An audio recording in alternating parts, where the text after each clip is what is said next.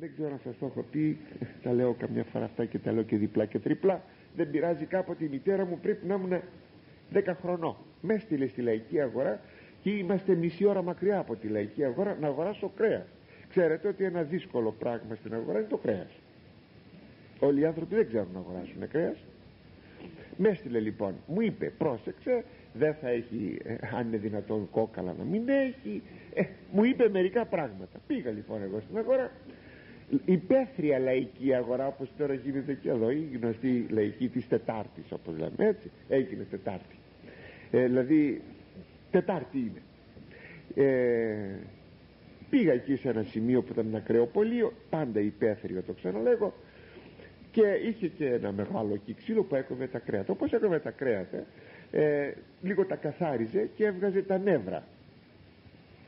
Αυτά τα νεύρα τα είχε σε ένα σορουδάκι δίπλα εκεί στο ξύλο. Τα είδα εγώ αυτά χωρίς κόκαλο.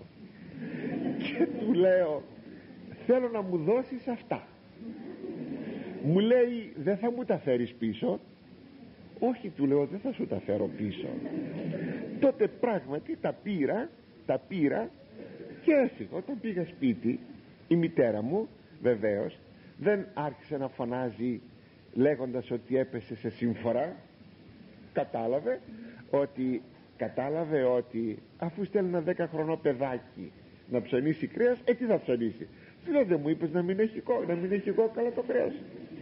Ναι μου λέει ακούστε να δείτε μου λέει αυτά λέγονται νεύρα.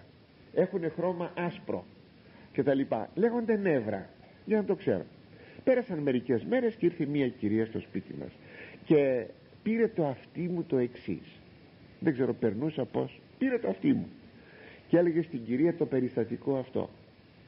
Και είπε τον έστειλα ας έκανε λάθος. Δεν με μάλωσε. Ποσός ποσός. Τον έστειλα για να αποκτήσει πείρα της αγοράς. Εμπειρία της αγοράς. Έτσι μερικές μαμάδες λένε δεν βάζω την κόρη μου να πλύνει τα πιάτα γιατί μη μου τα σπάσει δεν τα πλύνει καλά δεν τα σπάσει. Πόσο θα σπάσει; Ένα, δυο, τρία. Πόσο θα σπάσει; Θα μάθει να πλύνει πιάτα και το καθεξής.